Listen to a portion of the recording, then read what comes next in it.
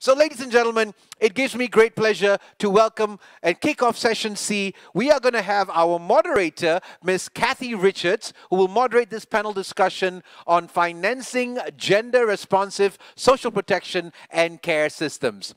Ms. Richards is the country manager for Oxfam in Laos. Previously, she was the country director for Oxfam in Timor Leste.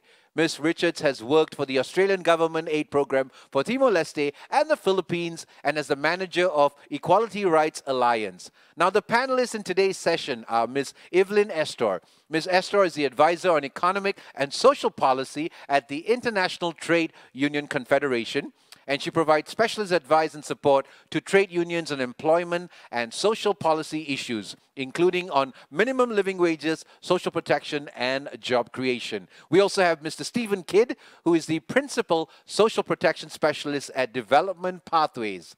He was previously the director of policy at Help Age International, led and, and led DFID's social protection team, and was a lecturer in social anthropology at the University of Edinburgh. We also have Ms. Ma Victoria Marivic, who is the co-convener of Social Watch Philippines and is a member of the Global Coalition for Social Protection Floors. She is an associate professor at the National College of Public Administration and Governance, University of Philippines, Diliman, where she teaches courses on poverty, inequality, the developmental stage, state and governance, and social policy. Now, to our panelists, Uh, with the translators doing real time, we just encourage you to speak a little bit slower. I'm guilty of that as well. So just gentle reminder, we just got to slow it down a tad bit so the translators can keep up with us and keep a flute, a, a very smooth flow for the entire forum. Over to you, Miss Kathy and the entire panelists. Thank you so much.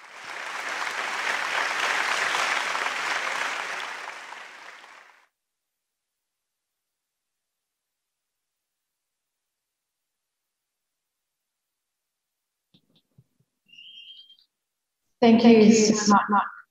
Everyone can, hear yeah, yeah. Um, um, what a wonderful warm welcome and, and quite a privilege to be the moderator with these impressive panelists that we have.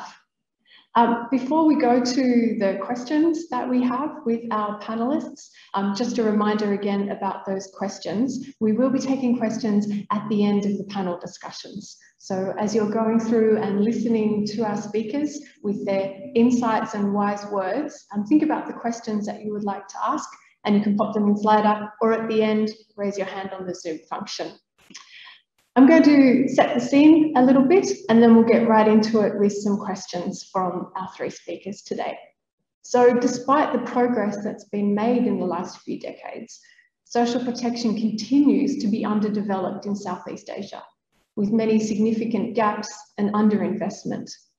In many Southeast Asian countries, there are no schemes for necessary social protection contingencies, and that responsibility for provisions such as maternity, sickness, and employment injury benefits falls to employers. Many countries in Southeast Asia spend less than 2% of their gross domestic product on social protection. Investment in basic social protection would have an immediate impact on reducing poverty, inequality, and purchasing power disparities, and would address COVID repercussions and challenges. So with that scene setting, let me go to our first speaker. And Stephen, this question is to you. Public financing for social protection, it's often not seen as an investment in long-term development or in employment.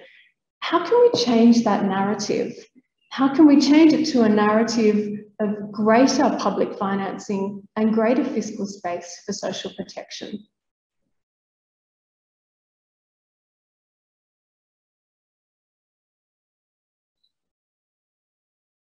Think we're just waiting for Stephen to come off mute.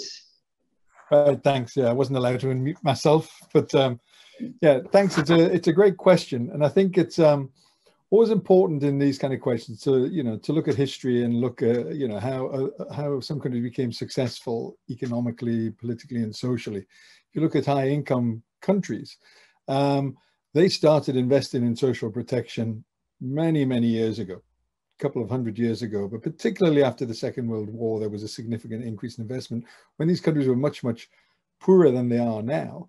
And, the, and, and this investment has been a key part of the sort of social, political, and economic success of, of these countries. So we find nowadays that the average level of investment in social social protection or social security is around 12% of GDP across high income countries, way higher than the figures that you're you're you're citing. And even I think Kathy, the figures you're citing are really social protection for a very small proportion of the population. It's benefit. The vast majority are excluded. And in, and, and in most countries, social protection is seen as a core public service, one of the critical core public services alongside health and education, and usually has higher levels of investment than, than both. So we need to really position this as something that's absolutely essential for all states to, to, to provide.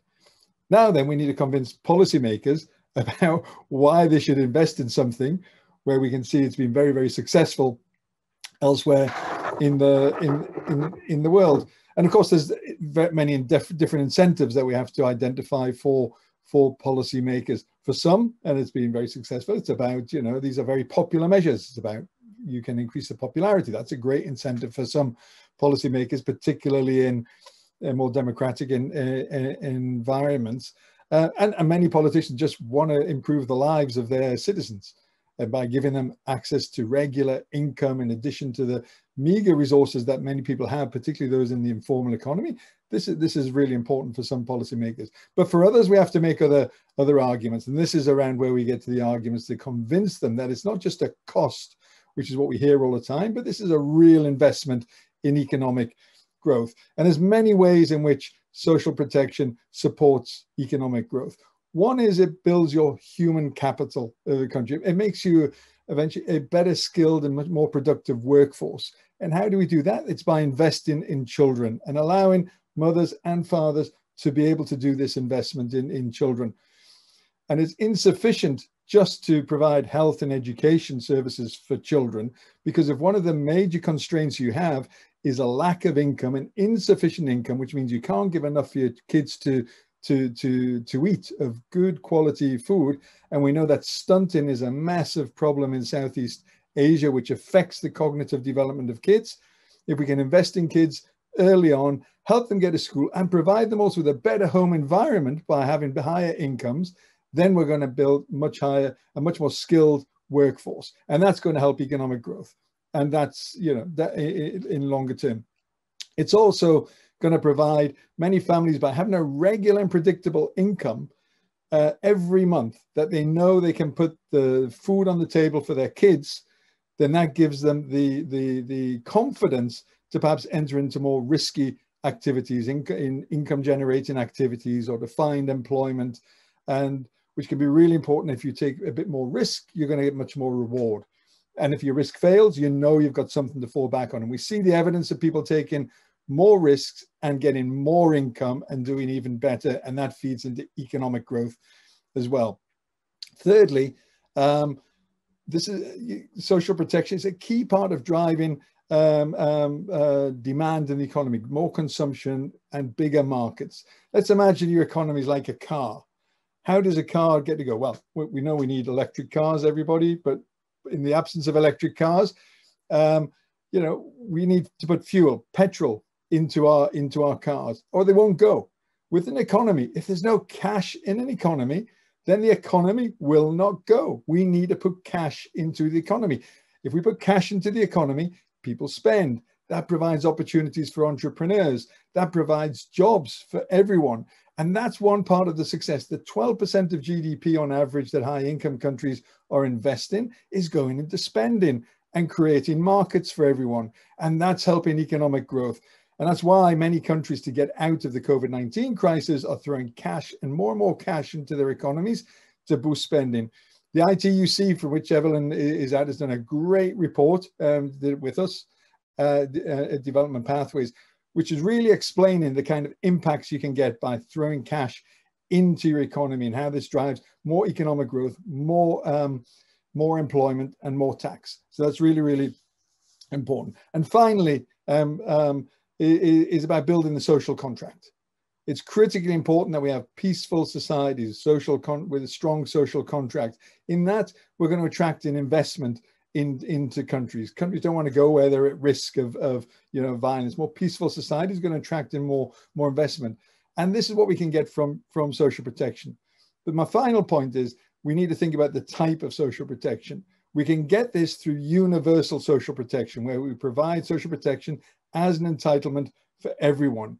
If we continue by just targeting the very poorest members of society, which can never be done accurately, that is in danger of undermining everything. It creates disincentives to, to, to work. It undermines the social contract because it's seen as very, very arbitrary and doesn't put much, and, and doesn't lead to high spending programs. So it doesn't put cash, cash in hands and it doesn't create many incentives for politicians to become popular because they're giving it to the only a minority of the population. So all of these factors will help drive it. And we have to convince policymakers that they need to do this because this will help economic growth and generate employment.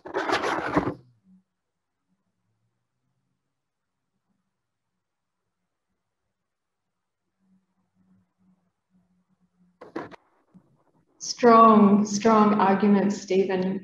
Economic arguments, political arguments, building human capital arguments.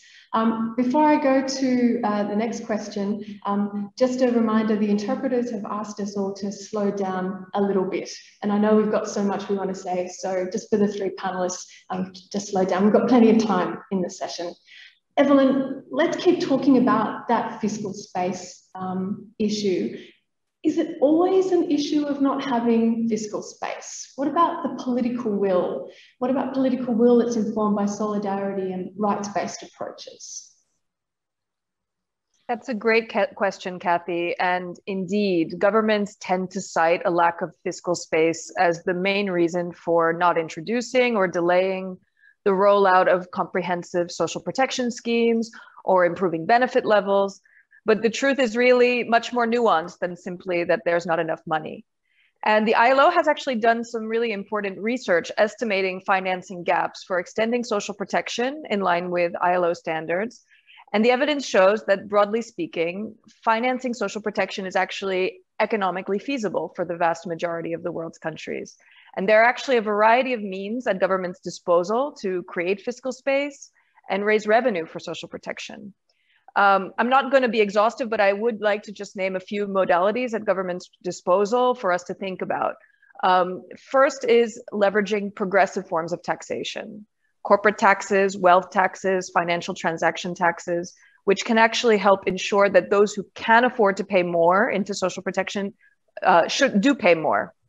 And in this respect, what's, what's a bit troubling is that Oxfam research last year revealed that many countries have lowered progressive forms of taxes, such as wealth, over the last decades. So that's actually undermining the ability of having a solid and fair financing base for social protection and something that we should think about. And it's really good that G7 countries have now made some commitments for minimum corporate tax, and I hope that that can um, can indeed serve as a as a benchmark for uh, for other countries as well. Um, the second has to do with reallocating and reprioritizing public expenditures in order to prioritize delivering on the right to social protection. I think that uh, policymakers need to ask themselves what is really critical. Um, you know, what should they prioritize? Uh, social protection is an internationally recognized human right, and uh, fiscal space should be earmarked to deliver on that right. And perhaps uh, they should look at where there are other aspects of spending uh, that are not so critical in terms of human rights, social, and economic development. Um, the third has to do with ensuring that employers pay their fair share of Social Security contributions.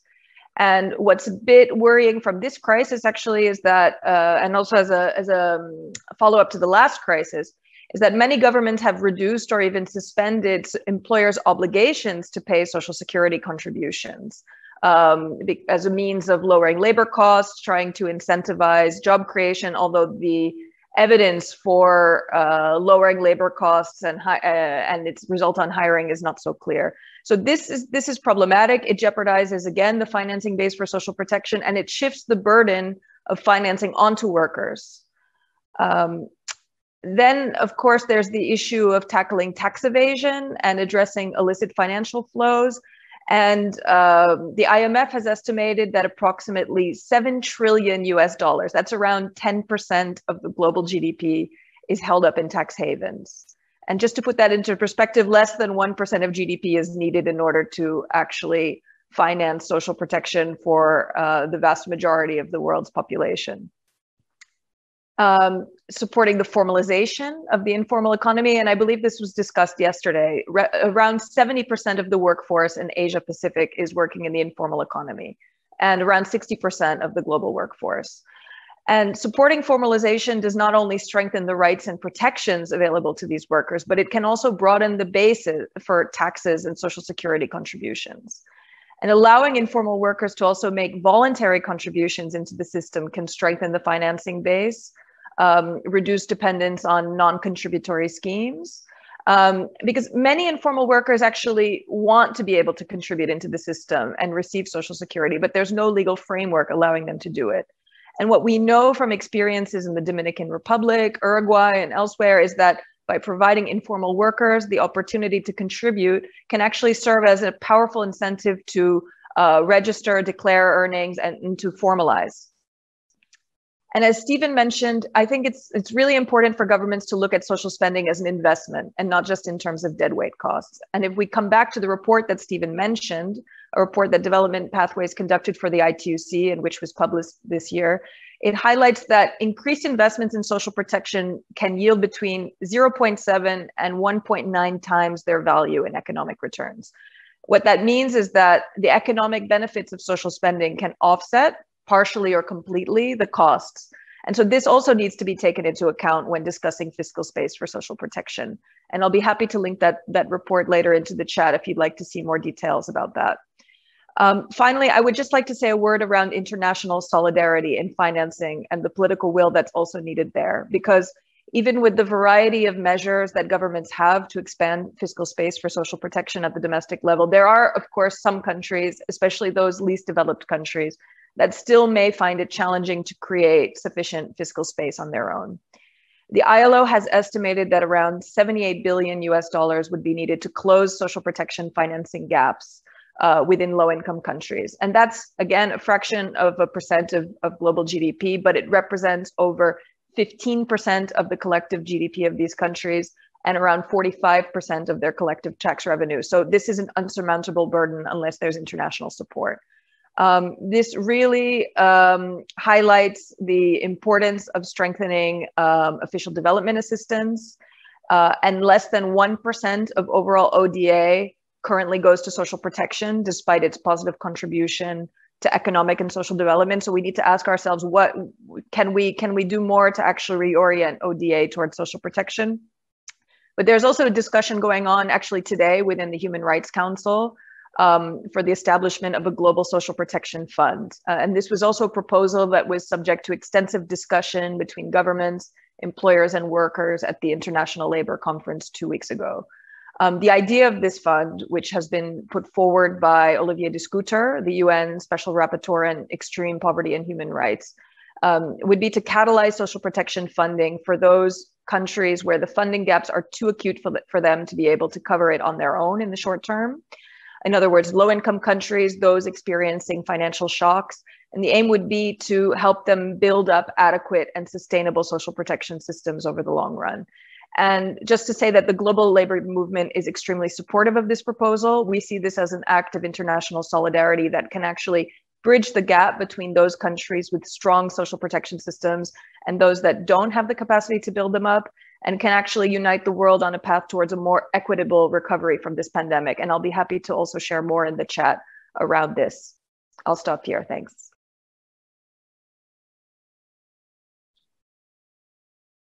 Thank you so much, Evelyn. Many, many great points there. I will note that Stephen has put links to a number of those reports in the chat box. So friends, I see we are more than 160. Um, as you're following through and listening to our panelists, have a look in the chat box and you can see many of the reports that Evelyn and Stephen have just been mentioning. Um, let me go to our third panelist, Victoria. Um, lovely to have you joining us. Uh, I want to introduce a concept, and I hope I say the word correctly, um, hypothecated tax revenue. Under the question that I want to put to you is, under what conditions can hypothecated tax revenue build transformative social protection systems?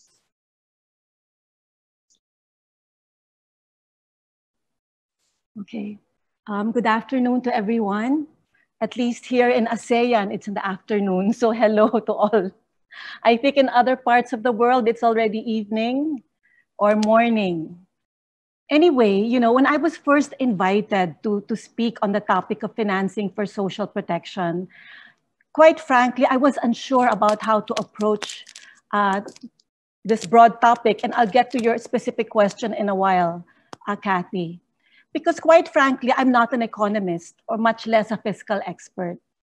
But I realized that as a homemaker, a co-homemaker, I know plenty about what matters, which is caring for myself, my family, and my community, and how important it is to set aside resources for those that we value most. Food on the table, education for our children, how do we keep our immune, immune system strong to fight COVID, to name a few. And so ensuring that we have resources for these. Now, what this pandemic has really underscored is how important the centrality of care.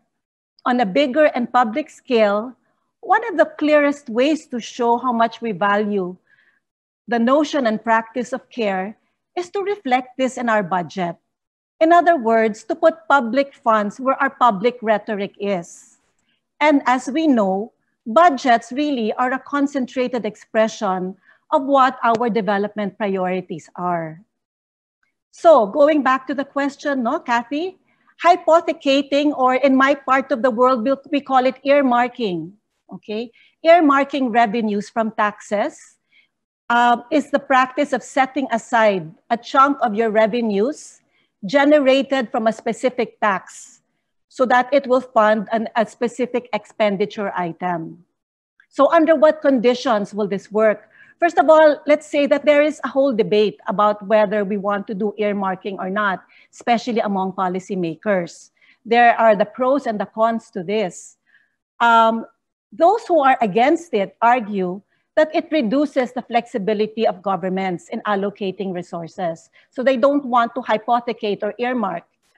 Furthermore, some critics argue that earmarking taxes create poor incentives for the improvement of certain programs, government programs, and of even entire institutions, because they will be assured of funding every year without tying it to development performance or outcomes. No? So it's a, it creates, they say, poor incentives. Also, a lot of the times, it is not easy to verify, verify if the earmarked revenues were actually spent for that expenditure that it was supposed to go to. Okay. Now, having said all this, I believe that there are still very strong justifications for earmarking funds for social protection, especially those that benefit women's needs. And this is also particularly underscored for developing countries that, as many of our friends around the table have said, lack fiscal space. No? Dedicating, for example, revenues from a tax to strengthen public daycare programs will allow poor women more time for self-care and to look for paid work, for example. And it's a, it is a demonstration of political will on the part of policymakers to prioritize and value the work and the time of women because they are already earmarking funds for public daycare programs. So, you know, policymakers, especially when it comes to the budget process, they're faced with so many competing priorities. So by earmarking specific funding uh, for example, for from certain revenues. No? Um, this is a way of making sure that that important expenditure item is prioritized and is not left to the political whims and vagaries of, of the legislative processes, which we know can go either in any way.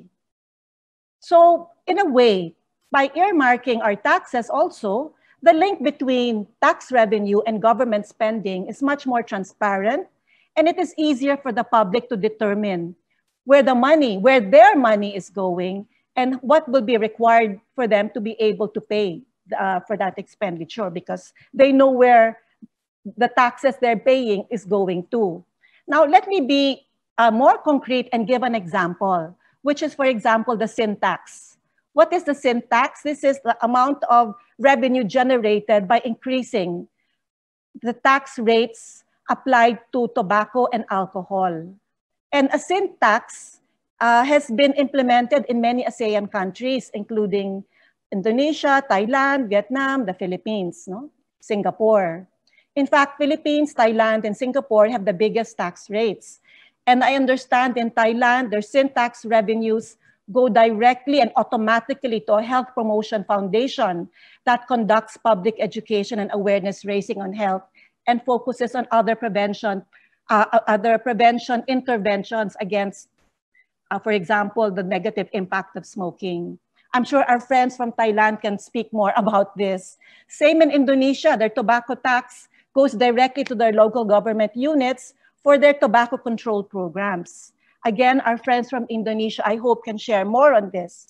In the Philippines, we also have a sin tax, which was uh, enacted into law in 2012 after intense lobbying from civil society and other groups. And at one point, we generated what? About $120 million a year. And that money, that, that additional funding that has been generated for, by, by, for the sin tax has been earmarked to fund our recently enacted universal health care law.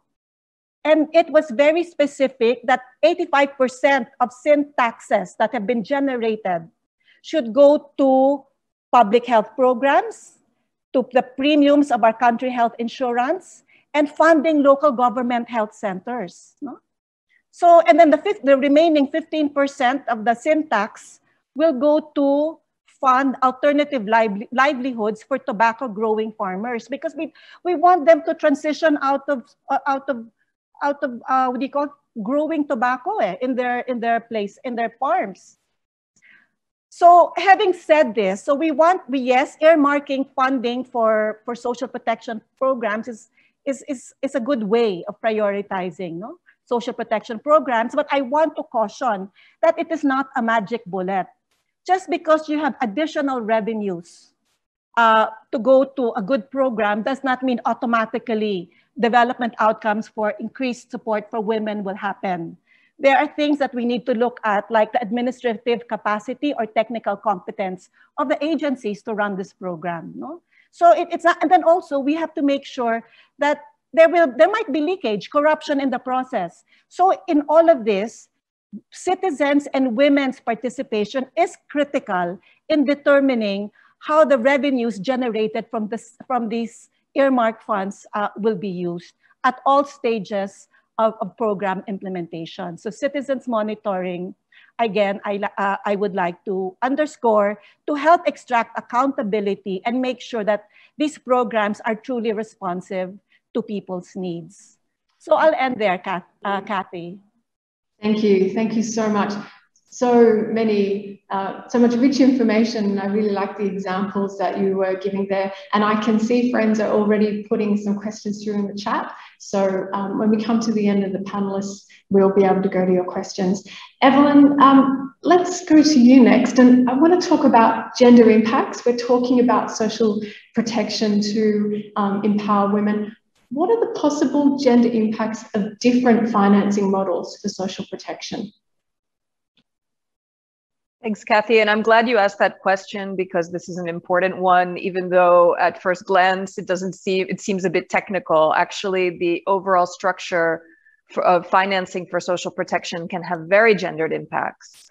Um, if you look first at contributory financing models for social security systems, uh, this is typically the main financing model for social protection, um, providing income replacement benefits that cover the general population. Uh, contributions are generally financed through a division of employer and worker contributions. And these schemes are important because they allow workers income security during periods temporarily or permanently out of employment. But um, in, in some countries, uh, benefits are strictly linked to one's contribution history. Uh, in other cases, contributory systems have uh, solidarity elements built into them. For example, providing a minimum, minimum benefit level for everyone, uh, even if you've made small levels of contributions. Um, but in general, contributory systems, especially when the benefits are strongly linked to the uh, contributions put in, they very often tend to mirror gender, gender inequalities in the labor market, meaning that women's low pay, uh, their lower employment rates, their higher concentrations in part time uh, and precarious forms of work, informal work, uh, more gaps in their careers due to care that leads to lower contributions than men and therefore lower benefits. And in, um, in many non-standard and precarious forms of work, uh, domestic work, agency work, zero-hour contracts, etc., um, which women tend to be overrepresented in, um, employers are actually exempt from paying contributions. Um, and the result is that um, overall, according to the ILO, globally only around 25% of women are covered by a contributory old age pension. Um, there are nevertheless ways to partially uh, mitigate such inequalities in contributory systems. So, for example, providing credits for contributions during periods of care um, for women, for for children, or for other relatives that can that help mitigate the disadvantages that women face because of career interruptions and contributions. Um, and the vast majority of OECD countries provide some sort of contribution credit to compensate for unpaid care work. Um, it's also possible to have higher rates of employ employer contributions or subsidized contributions by the state uh, for those on lower incomes, which can help workers build up more contributions and also address the problem of low contributory capacity for workers on low, low incomes. Um, making sure again that employers pay their fair share of contributions irrespective of the, the type of employment contract that's also very important uh, so reducing regulatory arbitrage and the possibility for employers to select um, precarious forms of work because they are not obliged to pay social security contributions. Um, and then, as I as I sort of alluded to before, uh, putting in place redistributive components into contributory systems, meaning that you can put higher replacement rates, for example, for low income earners than those with higher earners. I'll give you an example of Turkey. Um, they provide about uh, they nearly 100% replacement rate for low income earners in their social security system as compared to 60% uh, for the top earners. Uh, and again, having um, minimum levels of, of, benefits in the contributory system that can also help. Um, now, moving on to non contributory systems, um, these generally relate to benefits and services that are provided to people irrespective of their contribution history, uh, generally financed through uh, taxation. Um, these schemes very often consist of social assistance benefits, guaranteed income support benefits, uh, and women tend to be overrepresented in the receipt of these benefits precisely because they're excluded often from the contributor, contributory schemes. Um, the problem here is that the levels of non-contributory schemes tend to be rather low. Uh, so of course, ensuring the adequacy of these systems, of these benefits is also very important. Uh, it's also important to point out that non-contributory schemes are often uh, subject to stringent conditionalities. They're often means tested, uh, therefore taking into account household income. So if a woman is in a household where a partner works, the assumption is often that the income is shared between them, and this is often not the case. Uh, and this has a negative consequence on women's access to the benefits and their economic independence. Um, in some cases, like conditional cash transfers, uh, benefits are sometimes accompanied with specific requirements, like taking children to doctor's appointments or making sure that children attend school. Um, and these conditionalities are based on the assumption that poor households would otherwise not invest in children's human capital. Um, they create large administrative requirements that fall on women, reinforcing them into the role of primary caregiver in the household. So, um, really re um, reevaluating whether such conditionalities are necessary for non-contributory schemes. I think that's also important to, to bear in mind. Um, and finally, I think uh, cutbacks to the levels of non-contributory benefits and the strengthening of eligibility criteria um, in many years under the guise of fiscal sustainability um, have disproportionately penalized women because again, they're the main users of these schemes and they're um, often excluded because of the stringent conditionalities. Um, I just want to say that uh, you know, I've highlighted the the sort of um, downsides of, of both kinds of schemes, but Um, in fact, coverage of social protection uh, tends to be the greatest, and the gender gaps tend to be the lowest when you have social protection schemes that contain a comprehensive mix of contributory and non-contributory um, schemes. And in fact, two weeks ago, we had the tripartite social security discussion at the International Labor Conference. That's where workers, governments, and employers reaffirmed the need to complement adequate social protection floors with higher levels of um, contributory social security based on the principle, principles of solidarity and collective risk pooling. I think that those conclusions are important for us to bear in mind. And moreover, it reaffirmed the need for non contributory systems to have adequate benefit levels, um, and that contributory schemes should be gender responsive and therefore credit Social Security contributions for care work in order to reduce gender gaps in benefit levels and coverage. I think that this was this is a huge um, achievement to to actually come to an agreement between um, workers, uh, employers, and and uh, and governments on this. And I'm I'm happy also to share the conclusions. I think that this can be a, an important uh, guideline for states as they're thinking about how to strengthen gender uh, responsive social protection and how to finance that. Thank you. Thank you, Evelyn. I'm sure everybody would be really interested to, to hear more from that international conference. Um, I'm going to keep us moving along. And uh, Stephen, the next question is to you. Um, brace yourself. We're going to be talking about COVID. We, we can't have a discussion on anything without looking at the context that we're, we're in with the global pandemic. What we have seen is that there's been increasing discussions on the role of care economy as a way of building forward better following COVID and as being essential in creating a fairer economy.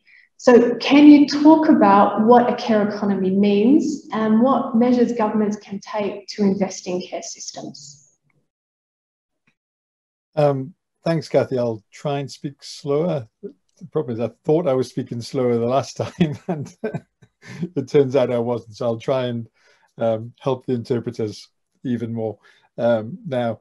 Um, yeah, I mean, I think we we often really just forget about the the, the care economy and the large proportion of, of, of people around the world who have responsibilities to care for others, right? And and and you know, many of us will require care. At, well, all of us require care at some point of our li lives. When children, when we're born, we we require intense care and support from both parents, but particularly the the mother if you have a disability, um, you know, many people with very severe, profound disabilities require a lot of care. Many people with disabilities, we need to remember, are perfectly autonomous and just need a little bit of support to get by by themselves. But some people need a lot of care with very profound disabilities, and it's uh, particularly difficult for for families who are, have a, a disabled child um, you know, to who, who needs intense support and medical support and and, and other kind of a uh, support services to to to work at the at the same time as providing that kind of care. I, I know this. I have a, a, disabled daughter, and it was impossible um, for both my wife and I to work when we when when when she was um, very young, and we wouldn't have got by without support from from the state. But of course, as we all age, at some point we're, we're probably all going to become disabled and frail and requiring support from others. And we don't want to be put into a home. We like to stay in our own homes. And often that means somebody else from our family, our children, has to take care of us. And this, this affects many, many people globally. And the problem is that if you have to spend a lot of your time providing this care support, you're unable to work and therefore that is going to hit your family income dramatically. Not only your family income because you can't work, but often if you have care responsibilities, you have much higher costs, medical costs, etc., to for, for, for the person that you're taking care of. So it's critically important in a fairer, decent society that we provide those carers with that support. Because in a sense, what they're doing is they're taking over responsibility of the state. But if the state doesn't step in to do it, it's kind of a relatively arbitrary measure. It's kind of an arbitrary tax on some individuals who may have care responsibilities and others don't. And the people with the care responsibilities have have to give up a lot and, and, and end up with much lower standards of, of, of living, where those who don't do better. And, and, and the state needs to step in to kind of equalize that burden, in a state of solidarity. That's why we have governments, is to create fairer societies, is to create that. And therefore, they need to step in to provide this kind of support. And we don't find in many low middle income countries the, the kind of support that is required. So the kind of measures that we should be really looking at um, once we've ba built basic social security systems that provide everybody you know, with support, children, old age, disability, unemployment benefits, is these additional benefits that need to be in place. Critically important, um, I think Evelyn was also already mentioning about, about maternity and paternity benefits um, as well. That is critically important. You give you give birth to a child, you need to dedicate time to that child's development. You need time off work. To take time off work, somebody needs to provide you with that with, with, with that support. And that systems need to be put in place. You can achieve that through insurance measures for people who are in the formal economy, but we have to find ways to provide the, those kind of measures for those in the informal economy who are out of work by providing people with those additional benefits so that they don't feel obliged to work and therefore reduce the time that they can spend with their children, which is going to set them back.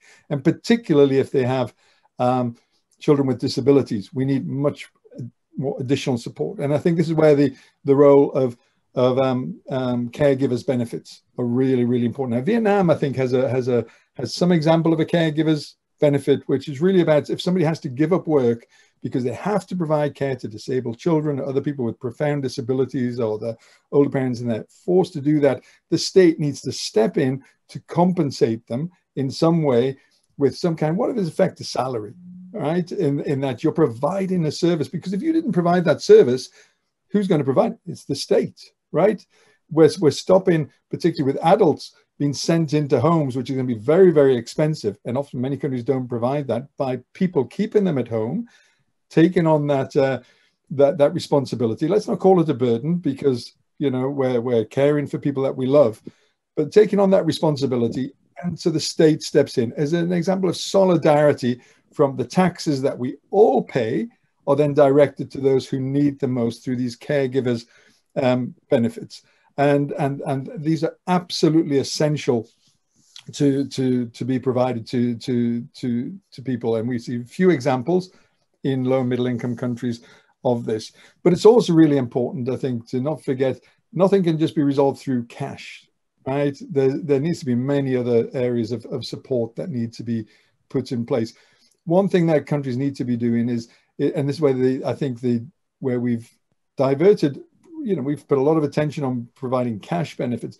We need to provide social, strong social work systems, really build strong social work systems with professional social workers who can go and work with societies, families that are struggling um, because of the, these care responsibilities and give them that additional tailored support to that family and put together a package of support you know, um, that can help that particular family with those particular needs. And this is a lot of investment not in the sort of um, just in cheap community workers, which is what often what social workers turned into, but proper professional social workers as a, as a, real profession that's in that, that has proper levels of investment and has a social care package beside it to often help families and individuals, hopefully to stay in their own home by, by having people providing them with, with, with services.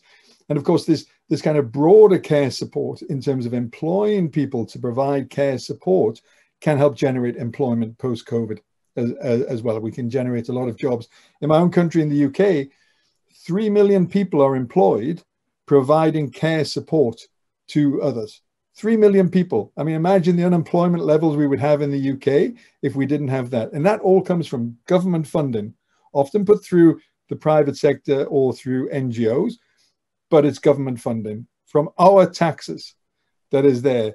And this is critically important. That can generate jobs and lots of jobs. And that those jobs and that cash will generate spending and will help economies um, recover and it'll help the most vulnerable individuals in society.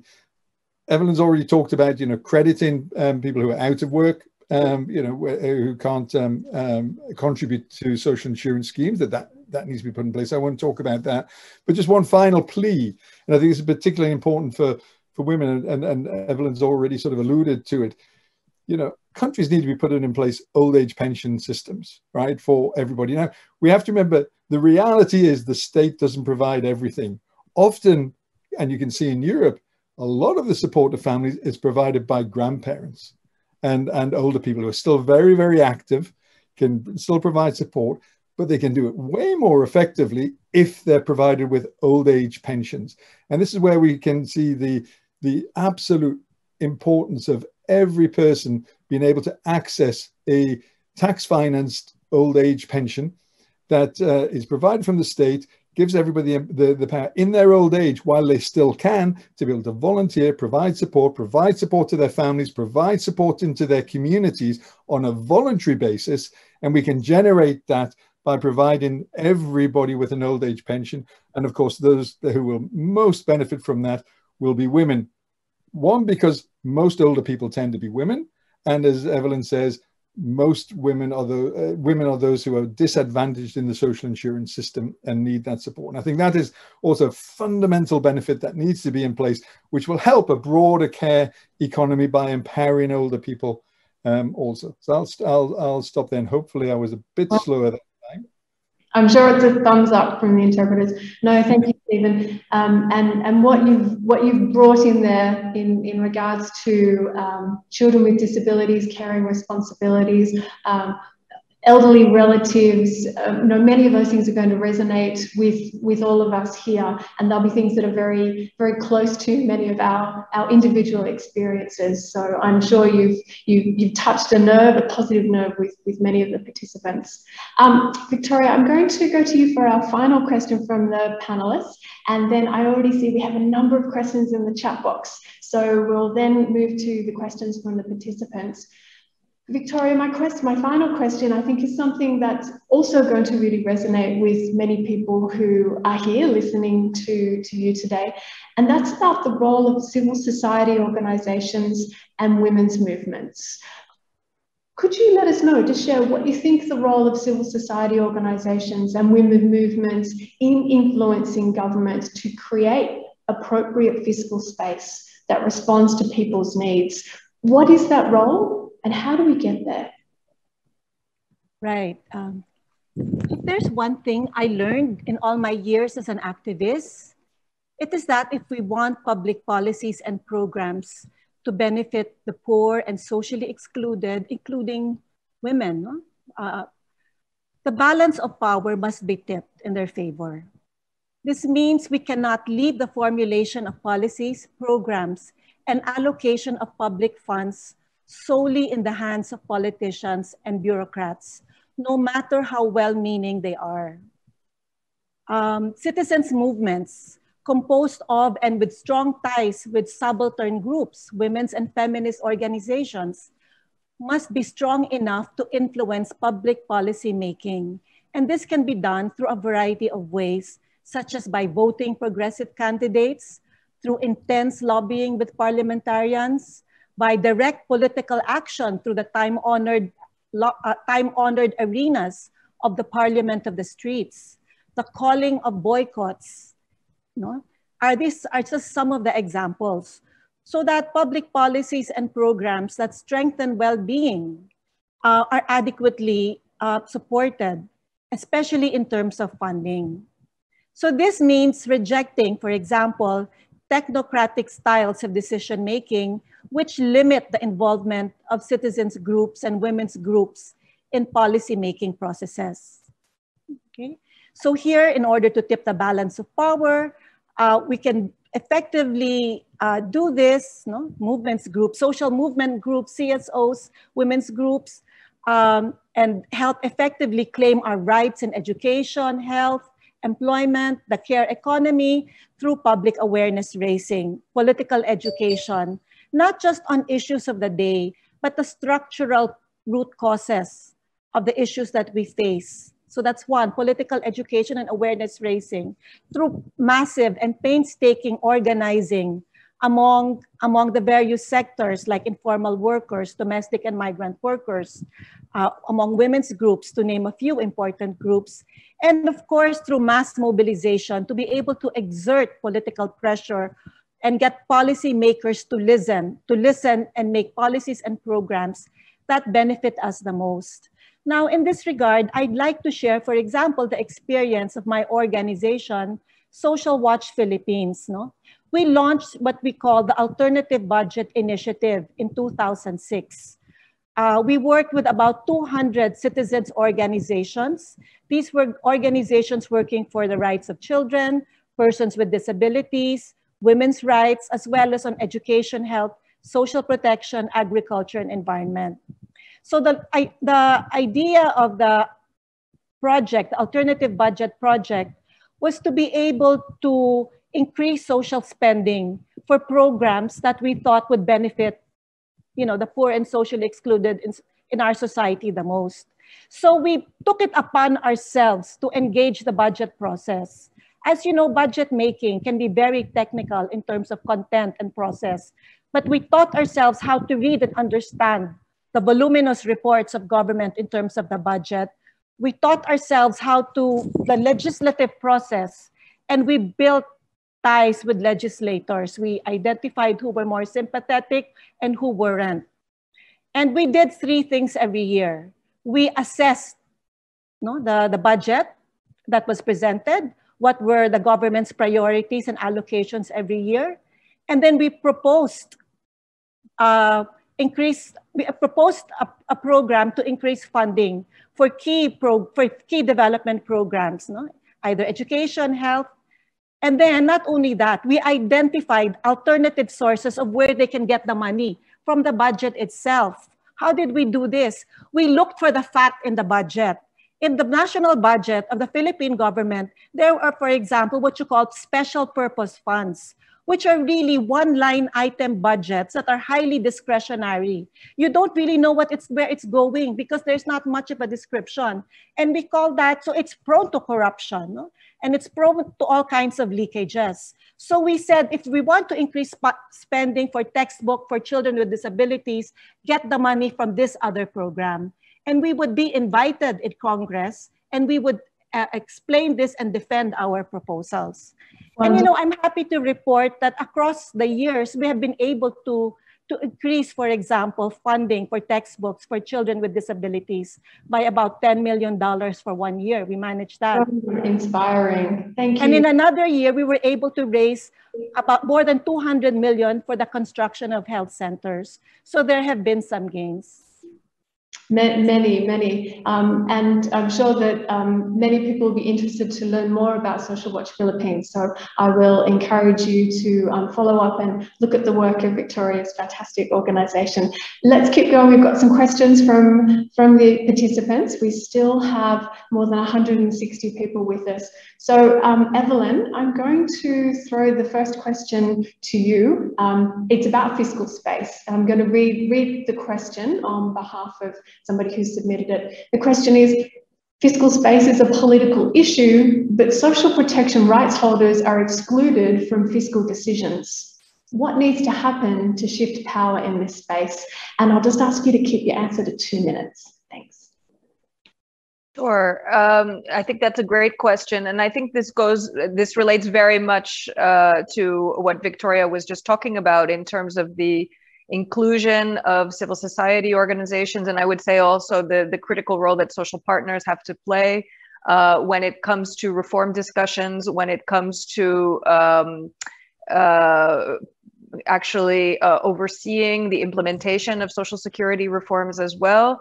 Uh, and I should really point out that uh, international labor, labor standards have a very clear framework around the need uh, to involve uh, not just employers, but also workers' organizations in the reform discussions, as well as um, other representative organizations of citizens concerned. Um, and we've seen uh, really great examples of where uh, unions and civil society organizations um, have been meaningfully involved in discussions to extend social protection, for example, in Uruguay, uh, in the discussion around extending social pensions, Kenya as well. Um, and we also see how uh, unions and civil society organizations are very important in terms of building momentum for reforms. We know in Indonesia, for example, as a really good example from the region, um, it was thanks to the involvement of unions that uh, the 2004 reform reform for Social Security, um, the, social, the introduction of the Social Security law actually passed. Um, and I would say as well that uh, not only are these groups important in terms of building public momentum, but making sure that social protection systems respond to the needs of those who uh, are benefiting from them, as well as building public trust in the system itself. Beautiful, lovely. Thank you, Evelyn. Stephen, um, let me go to you next with the next question from one of our um, viewers. Um, the question is, if a country is corrupted or experiences corruption, potentially the more budget we allocate for social protection, little will benefit the poor, women, children. This is not the equality that we want. Could you make some comments on that?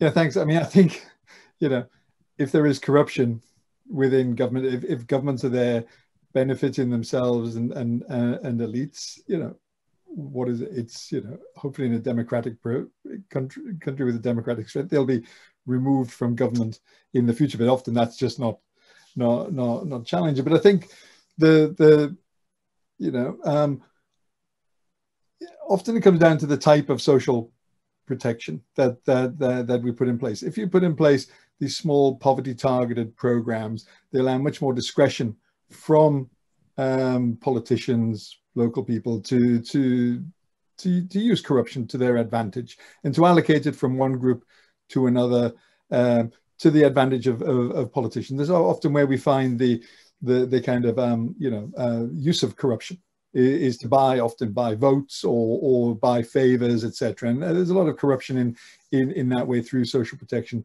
through these targeted uh, small poverty targeted programs. And we see that many many countries south asia is is full of of, of this.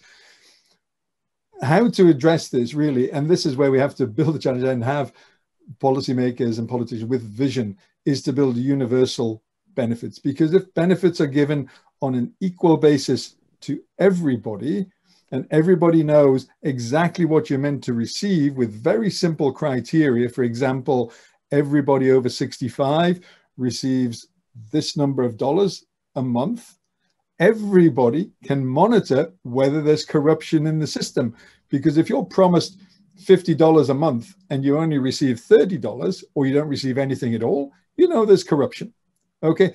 And on these universal programs, we find there is much, much less corruption with, within them because everybody is able to monitor what is going on. However, you also find that these programs help generate stronger democracies as well. Right. this is where we find that countries have put in place, many of the countries put in place these large scale universal programs have generated stronger democracies. That's why we've seen, you know, after the Second World War in Europe, pre Second World War, Europe was a disaster. Fascism, violence led to the Second World War. After it, when they put in place universal benefits with progressive politicians, we got much, much stronger democracies that, that, that, that developed, very different to, to the pre Second World War. And I think that's the other advantage is that through universal benefits, we might build trust in government because I think it's it's absolutely critical that you only build trust through the provision of universal services, not through targeted services. And if we build trust in government, we might find that our policymakers and the people who get into government are people who are much more trustworthy that we can uh, uh have trust in. So I think it's you know it, it can go both both ways, but I think it is you know let's not give up hope just because there's corrupt politicians. Let's try and change things and and and get in place benefits for everybody. Thank you. Thank you so much. Victoria, let me go to you with the next question from um, one of the participants in today's session. And this is about civic space and, and how we've observed it shrinking under COVID-19. So civic space is shrinking under COVID-19. What is the possibility for citizens to exercise their rights to demand benefits from social protection? Right. Um, you know, the shrinking of civil space is also a function of the fact that because there seems to be, well, there is a national emergency, that then it is a tendency of the state to invoke, in a way, national security type of interventions because of the magnitude and scale of the, of the emergency. Uh, so to some extent, uh, that can be justified. But precisely because of the nature of the crisis, all the more we will be needing uh, people's voices to come through to be able to sensitize the government about the scale and dimensions of the crisis, the effectivity of the programs that they are creating that is supposed to mitigate the crisis, and the kinds of solutions that are being put forward. All the more the people have need, need, a, need to have a space to be able to, to intervene, both in the analysis and in the proposals that are being created in terms of ways putting forward. You know, I can, and then now here I will talk about my experiences in the Philippines. Um, many of the people's voices coming through, rallies being organized, are being done always in the context of health protocols that have to be observed. So yes, we have rallies, no? But these are rallies. I don't know. I think I see it in other countries. They have big rallies and they're standing beside each other very closely. But in my context, our rallies are with people that are spaced apart because there's a general fear in, in, in you know in, in our places. So people are very, at least in the Philippines, and I think in many other ASEAN in many countries in Asia, we are quite mindful of the health protocols, even when we when we protest, if you like. And I think it's not one or the other. We can creatively show our voices. We can be able to protest in a manner that is consistent with health protocols. So this is a way of addressing authorities who say, no, you cannot protest, stay home, and that's it. Of course, you can protest online, and that's another way to go. But you, there are now, this is a challenge to many of us to to indulge, engage in creative ways of showing our voices in protesting. Because now more than ever, we cannot be silenced because our voices need to be heard. And I'm happy to say that um, it's happening in many of our in many of our countries in the ASEAN. And as I read the media, it's also happening elsewhere. Thank you. Thank you so much. I love what you were saying there about the creativity of, of activism. And I think that's been long the history of um, activists who've been fighting to maintain that civic space and, and that that struggle continues today, um, especially when, when we, we have COVID. Um, let me go to Stephen. There's another question that I want to send to you. Oh, the chat is moving very fast. And here is the question. The question, Stephen, is there a formula to help the government to allocate budget for social protection programs or to help civil society organisations or citizens to advocate to government for that?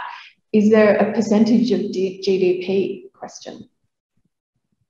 Um, yeah, I mean, I think there's there, the there's no set you know um, formula um, to to do it, and, and often depends on the extent to which your country is providing social insurance programs, therefore how much needs to be provided through tax finance schemes. But I think there are certain benchmarks that you can put in place for for countries, for example, um, where you look at the, the the size of a transfer that should be provided and link it to the the relative wealth of a of a country and look at internationally at how much should be given for example for children for people with disabilities for older people. And you can get some kind of benchmarking of the typical value of transfer that could be afforded by by um, by by countries and then calculate that up to how much it would cost. And i think you know when we do calculations on that if i think if you look around the world you could provide a pretty effective system that provides support to all children, all persons with disabilities, and all older people, the kind of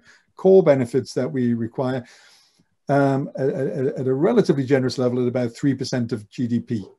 However, while countries might find that difficult to put in, you can build those systems over 10 to 15 years at much lower cost and allow economic growth to finance them while they themselves generate great, greater economic growth. So I think if we're looking at a, you know, the, on those basic tax finance benefits, if we're looking at a figure of 3% of GDP as our target, that's a kind of figure that um, South Africa, for example, has reached, which has a pretty good um, system in place, which is a sort of model for many um, low middle income um, countries.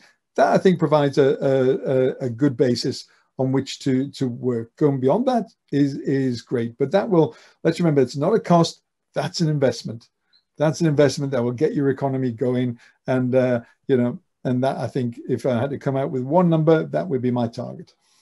Brilliant. Thank you so much. Evelyn, I think you might have had some other comments you wanted to add on. Yeah, um, I mean, I fully agree with everything that Stephen has said, and I think that it's not an easy quest. It's it's not an easy answer. Um, obviously, the the needs uh, and the specificities of each country differ, so it's hard to say every country country should spend X percent of GDP on on uh, on social protection. That being said, um, there are some tools available produced by the ILO that I think could be really helpful in terms of um, getting an idea of what the specific um, spending needs might be in your countries with regards to social protection floors. The ILO has what they call a, so, uh, a cost calculator, where um, you could look at uh, different types of benefits and and um, uh, and how much it would cost for you to uh, introduce or extend those uh, benefits um, in uh, in your specific countries based on the levels of employment, based on the size of the population, etc. Um, and I think that while I, I am not sure that this is a um, you know fully um, you know fully ac accurate i think it gives a sort of global snapshot that that you can use within your advocacy efforts conservative estimates that you could say, you know, uh, at, you know, roughly at least X it would be needed for this. So I'm happy to share that in the chat. I think that that's a, a useful tool that I know that our affiliates have been using very much to inform um, reform discussions in their countries. Great, thanks Evelyn. I can see we have um, someone who's put their hand up and we have just a few minutes left. So I might need the help of our MCs to unmute our friend. I think it's Sapana from Cambodia. When your microphone is unmuted, you may go ahead with your question. Uh, so uh, within this uh, my name is Sapanya សំ បាទខ្ញុំបានយ៉ា ខ្ញុំខ្ញុំបានជួសុបញ្ញាប្រធានយុគឋានសុខភាពសង្គមនៃក្រសួងសង្គមកិច្ចអតីតយុទ្ធជននិវត្តន៍សម្បទាអឺហៅថាខាងកម្ពុជាខ្ញុំបានសូមចូលរួមយោបល់នៅលើចំណុចនេះដែរមែនតើអ្វីដែលវាគ្មិនបានលើកឡើងបាញ់មិញនេះវាជាផ្នែកមួយដែលកម្ពុជាកំពុងតែ apply ទៅលើយន្តការសម្រាប់ការ intervention social assistance នៅក្នុងក្របខ័ណ្ឌនៃ COVID-19 នេះ ដែលយើងឃើញថាសម្រាប់នៃការពង្រឹងបន្ថែមនៅហៅថាការរក្សាបាននៅប្រសិទ្ធភាពនិងការផ្ដល់នឹងការអន្តរាគមសម្រាប់ជួយរក្សានៅ stable នៃជីវភាពរបស់ប្រជាពលរដ្ឋហ្នឹងគឺថារដ្ឋាភិបាលកម្ពុជាបាននៅក្នុងយើងខ្ញុំសូមនិយាយថយក្រោយទៀតគឺនៅក្នុងខែមេសាឆ្នាំ2020នៅពេលដែល COVID មានស្ថានភាពកំពុងតែធ្វើការហៅថាផ្ទុះខ្លាំងនៅក្នុង ក្របខ័ណ្ឌកម្ពុជា ពេលនោះយើងក៏រដ្ឋាភិបាលកម្ពុជាក៏បានធ្វើការសិក្សាបន្ថែមនៅក្នុងការហៅថាផ្ដល់នៅការអន្តរាគមន៍ដល់ប្រជាពលរដ្ឋនិងការរក្សាលំនឹងជីវភាពពេលនោះយើងក៏បានរៀបចំឲ្យមាននៅប្រព័ន្ធនៃការផ្ដល់នៅការឧបត្ថម្ភសាច់ប្រាក់ខែ transfer សម្រាប់ពួកគាត់បន្ថែមពីលើអ្វីដែលយើងពង្រឹងដែលរដ្ឋាភិបាលផ្ដល់ទៅក្នុងក្របខ័ណ្ឌនៃហៅថា ប្រព័ន្ធនៃនៃនៃនៃការរក្សាសុខភាពនោះចំពោះចំណុចនេះហ្នឹងចំណុចនេះហ្នឹងគឺថាយើងក៏បានរៀបចំឲ្យមានកម្មវិធីឧបត្ថម្ភទីសាច់ប្រាក់ដោយយើងផ្ដោតទៅលើគ្រួសារដែលងាយរងគ្រោះអញ្ចឹងគ្រួសារដែលងាយរងគ្រោះកន្លែងនេះគឺយើងផ្ដោតគ្រួសារដែលមានបានសមត្ថភាពអញ្ចឹងនៅនៅក្នុងបានសមត្ថភាពនេះយើងក៏បានចែកយើងបានធ្វើការផ្ដល់ជាលក្ខណៈកញ្ចប់គ្រួសារហើយយើងផ្ដោតសំខាន់ទៀតដែរទៅលើហៅថា ជនងាយរងគ្រោះដែលមានកុមារពី0ដល់5ឆ្នាំ មានដល់មនុស្សវ័យចាស់ពី60ឆ្នាំឡើងទៅដល់ជនពិការដល់អ្នកដែលផ្ទុកមេរោគអេដអញ្ចឹងនៅពេលដែលយើង We're going to have to just summarize up on your question um thank you so much for sharing your thoughts and we are getting the translation typed into the chat box So hopefully we will have time for our panelists to give you a response. Um, just as we're waiting for a quick translation of your comments and questions, maybe I'll just go to um, Evelyn if you just wanted to make just a couple of quick comments. We were talking before, Stephen was talking before around care economy and particularly the examples of people with disabilities. Um, from your perspective, Evelyn, did you have any examples of how you thought care could be provided from the state to the family with uh, a member of the family who has a disability? And then how is that linked to help for gender equality inclusion? I hope that that's yeah that, that's a that's a great question and i think the um, the the challenge of long-term care is something that is really under acknowledged as a as a work-life balance issue um, it's an issue that disproportionately affects women, but uh, but not only women, of course, just just like care responsibilities for children.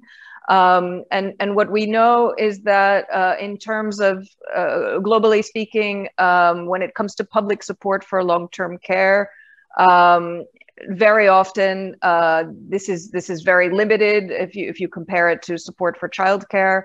Um, this is these are services that are um, often uh, institutionalized, which is uh, neither good for the beneficiary nor the family. So the issue of community-based care that Stephen mentioned, uh, which is um, which, which, is very important in terms of ensuring dignified livelihoods for uh, for for uh, people. Uh, with with care needs, with people with disabilities, um, you know, community-based care is is really lacking in in many parts of the world, including in developed countries. Um, and and as a result, um, what you see is that a lot of this work is provided informally uh, with uh, with people who are providing support without proper qualifications. Uh, and and in terms of the caregivers, also very limited, if no rights and protections uh, uh, economically or uh, or socially. So um, this is something that um, that trade unions have been calling for for a long time in terms of increased investment for quality long-term care uh, services, services that are um, that are formal. Um, it can be either through uh, direct provision or through subsidies, but the the the point is that there needs to be a public um, public investment and regulation around that work and proper qualification and training for uh, long-term care providers as well. And just to say that uh, I, I, go back to to referencing the discussion that we had at the ILO two weeks ago um, but this was very, very critical in terms of um, uh, in terms of the discussion around not just the need for investment in childcare, which is still very critical, um, but of course also the need for for long term care uh, and to ensure uh, decent work within uh, for care jobs as well. Thank you. Thank you, Evelyn. I'm, I'm getting the nudge from the timekeepers that we need to wrap up the session, but Victoria, I did promise you a final comment on the Global Social Protection Fund. So I'm going to give you literally one minute, and then um, unfortunately someone might come in and mute our microphones. So Victoria, one minute. Right. Well, basically just to say that even under the COVID-19 situation uh, and the dire need, uh, you know, how the crisis has struck all countries, uh, some more than most, uh, social protection floor, especially financing social protection floor, especially for poor countries, is doable. The, I, the ILO has done a study that for low income countries, we need about 122 billion uh, to cover their financing of social protection floor, the minimums really, for that. And last year, uh, 30 of the richest countries from OECD uh, paid 160 billion. No? So they paid more than, so with the 122 billion of the poor countries, it's just less than half of what the of, of, the ODA of the richest countries paid last year. So that means that we have the money is there to cover the financing gap. What we need is the political will. That's it. Thank, thank you, Victoria. we are talking, uh, on, on one hand, we're talking about mind staggering figures, and on the other hand, we're talking about things which are absolutely within the global political will and economy reach for us to be able to make these changes for social protection. Um, friends, I'm getting the, the nudge that it's time for us to move to the next part of this afternoon's session.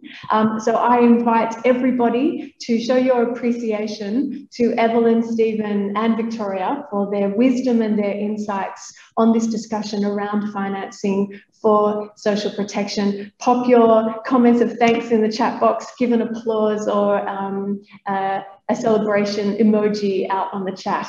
Thank you again, Evelyn, Stephen, Victoria. It's been an absolute pleasure. Thank you. Thank you. And thank you so much to uh, Kathy for moderating it. We truly hope that every single one of you got something from that. It was a deep dive, a powerful session C. So thanks again to every single one of our speakers and our moderator. We appreciate your time. As we move on with the program, ladies and gentlemen, it is time for our next case study. Now, I'd like to welcome Mayor Attorney Melchor Mergal, Mayor of the city of Salcedo, Eastern Samar in the Philippines, to present care ordinances implemented in his city. Now, it is his last term as a municipal mayor after nearly eight years of being the local chief executive of the municipality of Salcedo. He has brought recognition to the municipality as a four-time seal of good local governance as an awardee. Now, given the limited resources that the mayor has had uh, as a fifth-class municipality, he has institutionalized partnerships with NGOs and INGOs to help him accomplish relevant basic services in all areas of local government operations. His municipality is modeling an adaptive, resilient, and disaster ready community. We will have questions after the presentation. Let's enjoy the case study, or let's learn together right now. Good afternoon, Good afternoon everyone. everyone. Uh, I am Attorney Melchor Liego Mergal, the Municipal Mayor of the Municipality of Salcedo. And it is a privilege and an honor to be a participant of this uh, ASEAN uh, Regional Forum on Social Protection. My topic to be discussed and to be shared to you this afternoon is about our Women Economic Empowerment and Care Ordinance that was uh, piloted by Oxfam in my municipality. This is my uh, uh, third term as municipal mayor and uh, we were uh, still a good local governance award by the Department of Interior and Local Government where uh, local government units are under of that department. And uh, yes, uh, we enacted an ordinance, a landmark lo local legislation on women empowerment and care to address unpaid care work. Just a quick facts about my municipality. Uh, we are a fifth class municipality with a total population of 22,835 according to 2015 community-based monitoring systems uh, released by the PSA, the Philippine uh, uh, yeah, it's the it's the pacing. Then uh, we have 41 villages and uh, two island barangays, and uh, our households is composed of 5,001, and our major sources of income are farming and uh, fishing.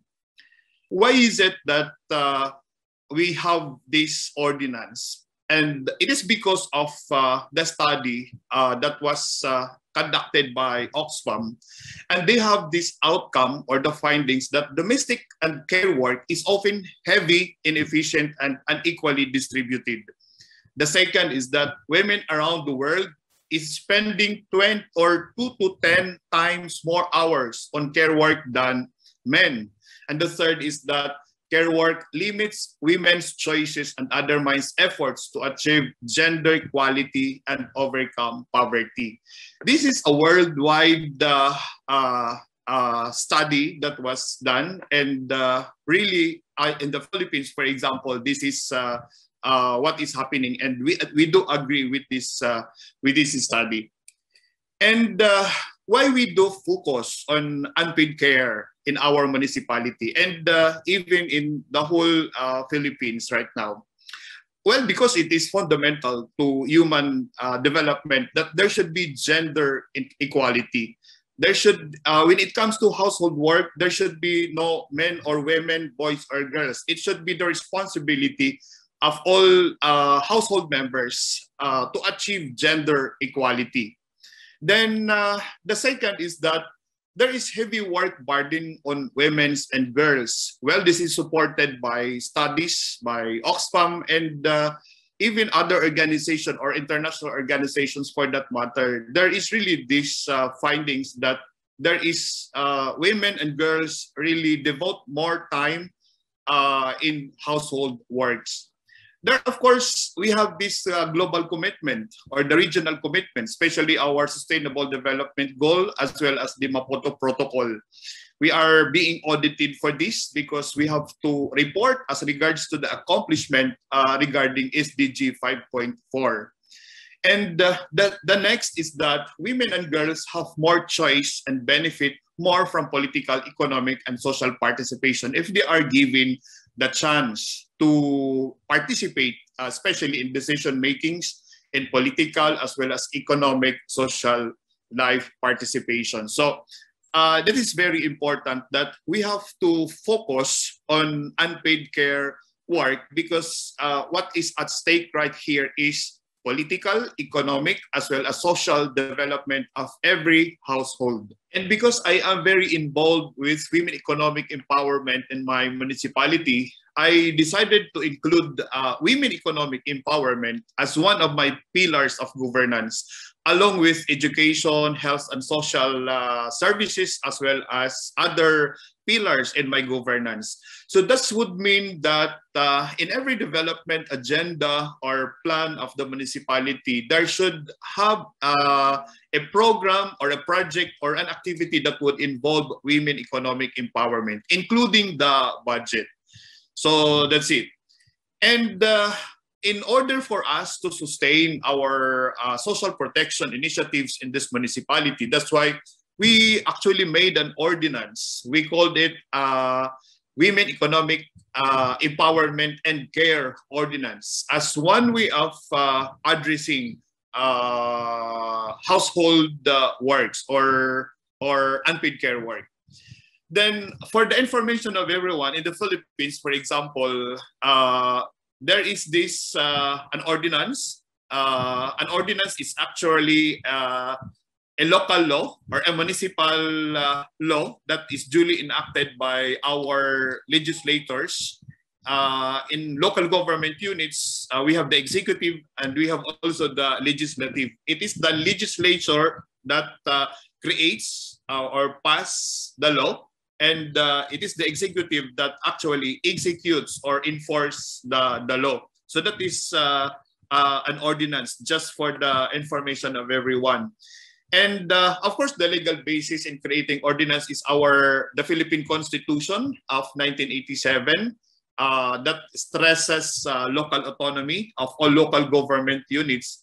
And enabling law of the local government units is the Local Government Code of 1991. Uh, Specifically, the national government uh, ensures decentralization that contributes to the continuing improvement of the performance of local government units and the quality of community life in the respective municipalities. So that is actually the legal basis of our ordinance. As I mentioned a while ago, uh, our ordinance is uh, composed of uh, four uh, salient uh, features or salient provisions. The, the part one is data collection.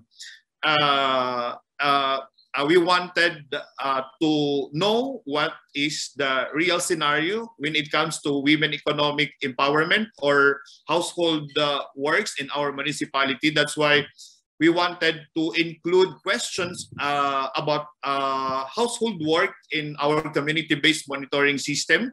Uh, this is a system actually that is used by the local government unit in uh, collecting data in every household. We wanted to know how, how much hour or how many hours does a household uh, devote time for household works. Uh, those, those data uh, or similar other data that are uh, needed.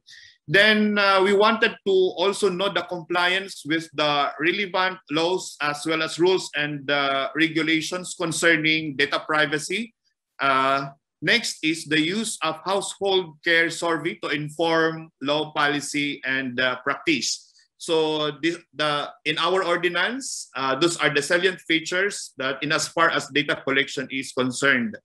Then in part two, we have uh, the objective or we want to attend the, the shifting of social norms uh, through information dissemination, through the gender and development. Uh, we have this uh, GAD, Gender and Development Council or GAD, GAD Focal Point System in our municipality.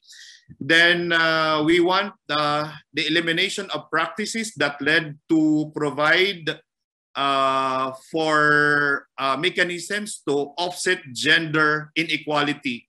Then uh, we wanted also to counter negative perceptions about uh, care work.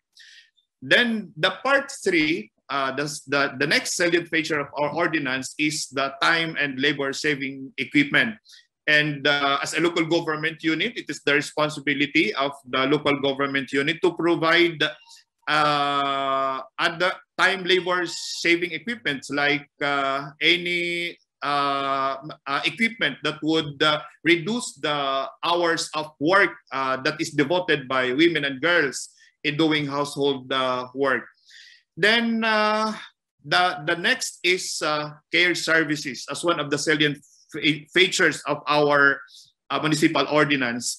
of course, the access to safe water, the daycare centers, uh, health centers. These are actually the care services that are being done by women and uh, we wanted to reduce the time. Then uh, the next part is for financial mechanism. Uh, this is already, be because this is already an ordinance, that would mean that uh, there has to be a budget every time or every every year that uh, there is uh, budgeting by the local government unit. And uh, it is stated there that uh, our women economic uh, empowerment and care uh, funds shall be taken from the 5% gender and development fund that is given to us by the national government. Then what were the what were the initiatives of the local government units in as far as women economic uh, empowerment is concerned? And uh, because we already have that ordinance uh, we have uh, areas regarding cash transfers awareness raising and public works programs. I mentioned this a while ago. I was discussing with uh, our ordinance and uh, yes, uh, one of the initiatives of the local government units, in uh, especially in cash transfer area, uh, we do uh, these sessions with husband and wife. In uh, there is this program of the DSWD, the 4Ps program of the DSWD, there, where there is this family session, and we inject unpaid economic, unpaid care work in that sessions. Also, uh, we have this very deep project in our municipality, the building uh, resilient and disaster ready communities. Uh, we do the preemptive cash transfer so that during uh, evacuation, our women and girls will not be, it's not hard enough for them to prepare for, for their households as well as during the evacuation uh, if they have the money, they can buy whatever uh, basic necessities. Then the next is awareness raising.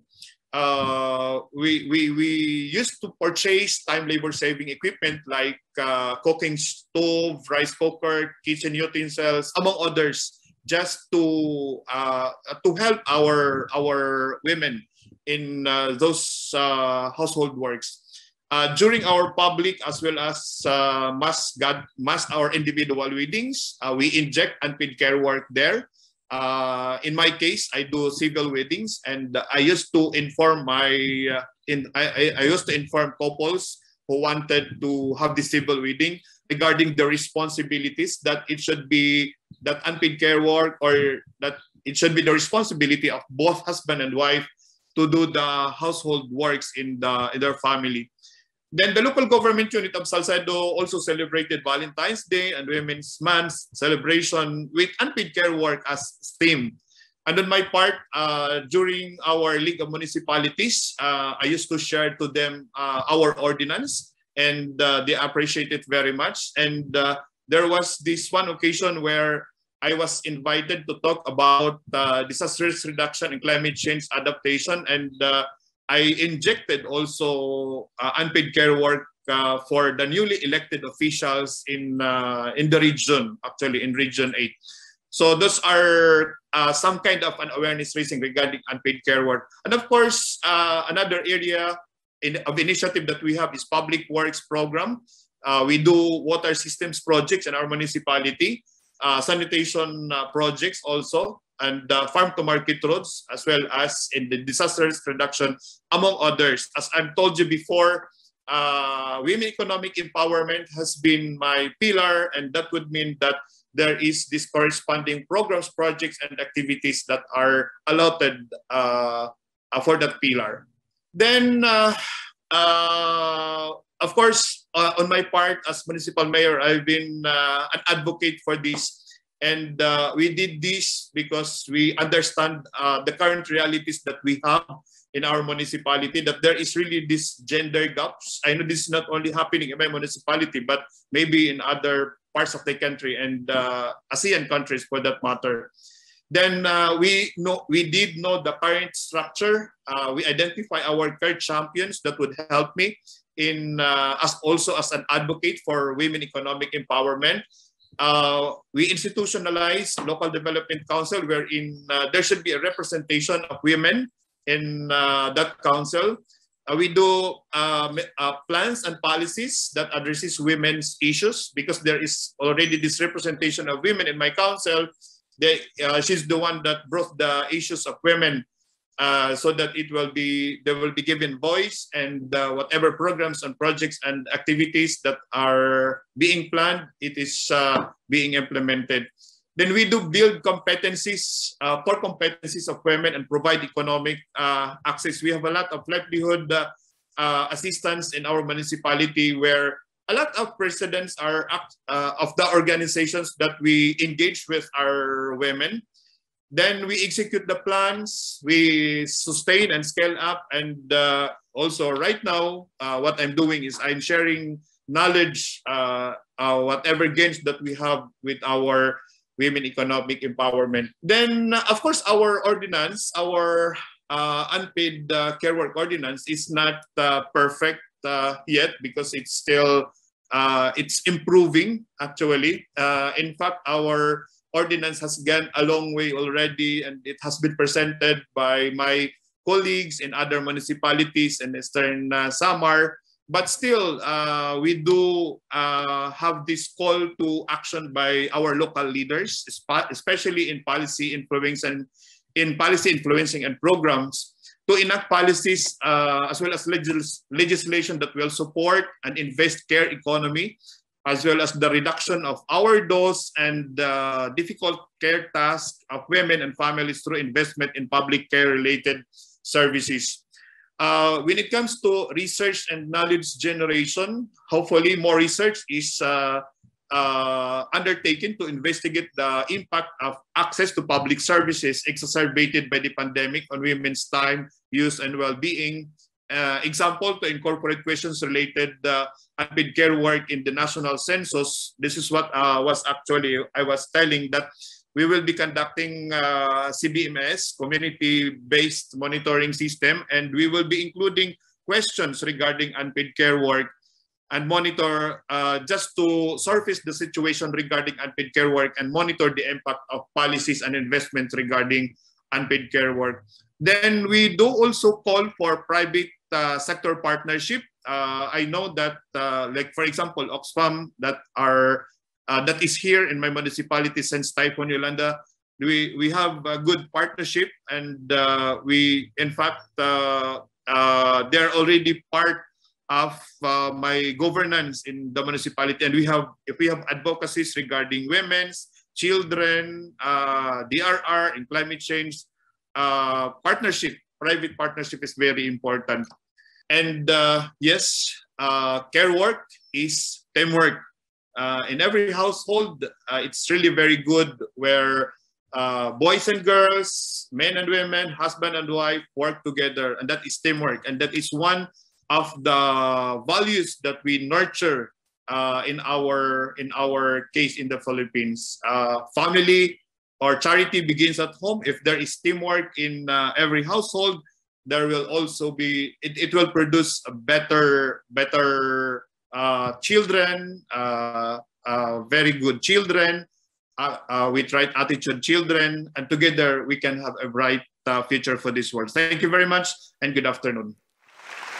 Thank you so much, uh, Mayor Tony Melchor Mergal. So we have Mayor with us here to take a few questions.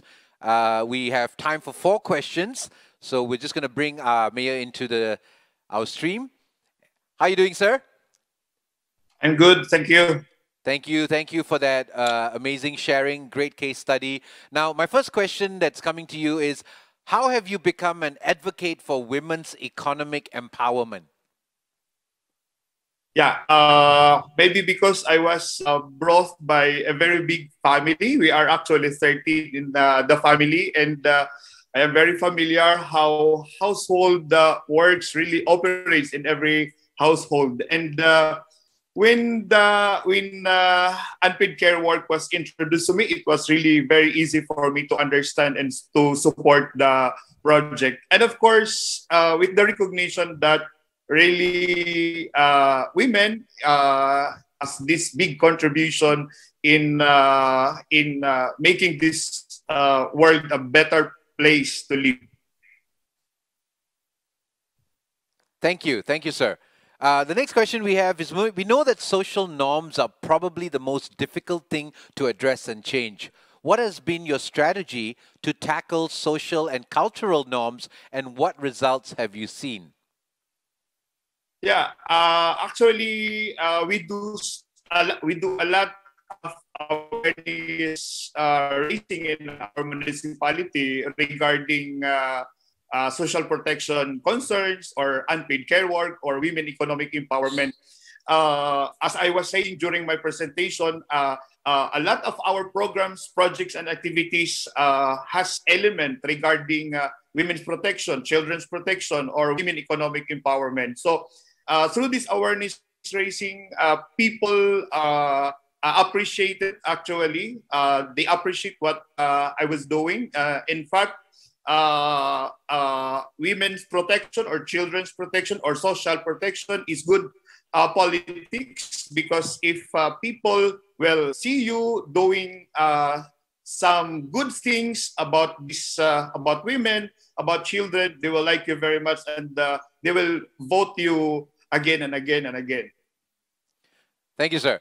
Now, could you tell us more about the importance of collaborating with NGOs, the private sector, and that sorts? Yeah, uh, like for example, my municipality, uh, we are a fifth class municipality with limited resources, and uh, there are a lot of uh, a lot of services that are covered by the local government unit. So uh, we do a lot of partnerships with uh, private organizations to help us in the delivery or address uh, uh, gender inequality, for example. So it's really very important uh, that I do partnerships because uh, uh, the, the, the, the, the, the way I see it here, uh, I do agree with uh, Ma'am Maria Victoria of uh, Social Watch Philippines that social protection is not given much attention actually especially by the politicians because they're thinking it as actually a cost rather than as uh, an investment. So uh, when it comes to budget, uh, there is only, although there is this earmarked budget for gender and development where uh, women economic empowerment and unpaid care work programs, projects, and activities can be taken from from that uh, uh, earmark fund, still it is not uh, actually enough to to help address uh, the uh, address the the address uh, so, social uh, inequality or women inequality